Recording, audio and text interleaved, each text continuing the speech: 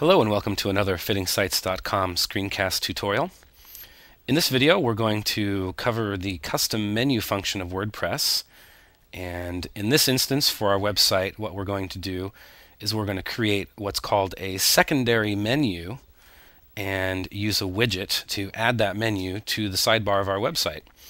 And this is a problem that a lot of websites have as they continue to grow larger is that you can see here that on our site we have several tabs. We have about nine tabs total.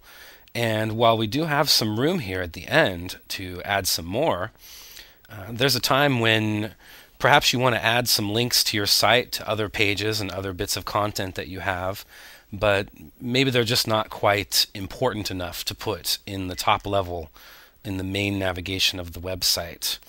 And for this, we actually have a really simple solution for that. And what we're going to do is we're going to put a menu here in the sidebar, basically a list of links that will allow visitors to go to extra content we have on our site.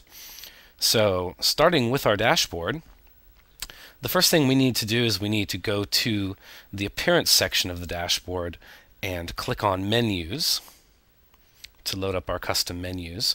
And here you see we already have a menu called main, which you can see right up here. And that is a menu that we created in another tutorial we did on custom menus. And what we're going to do is we're going to create a second menu. And we're just going to go ahead and click on this plus sign here to create our new menu. And the only thing that you need to do now is give it a name.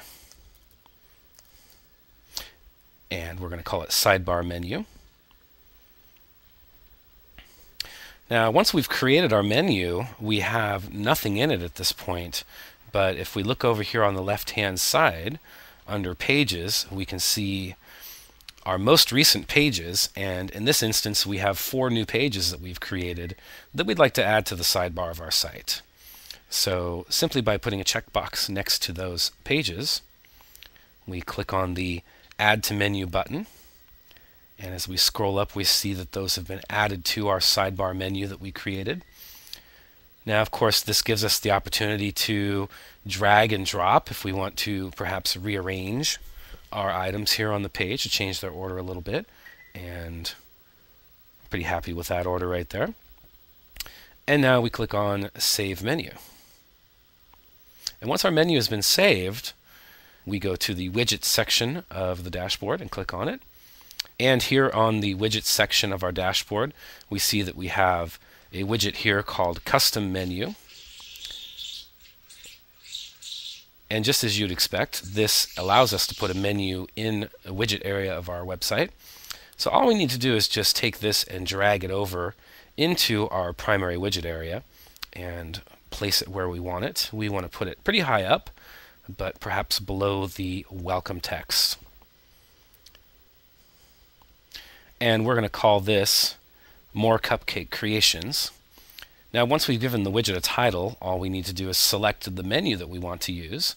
And by clicking on this drop down, we can see that we have two choices.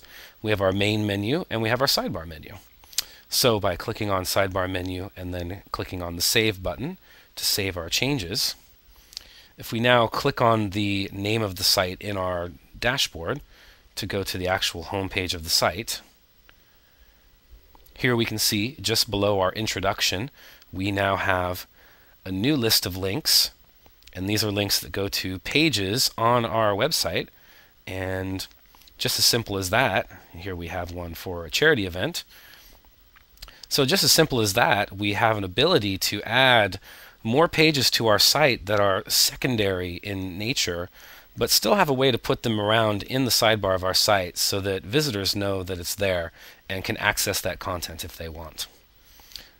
So I hope this has helped you to add some more links to your sidebar. Thanks so much for watching and have a great day.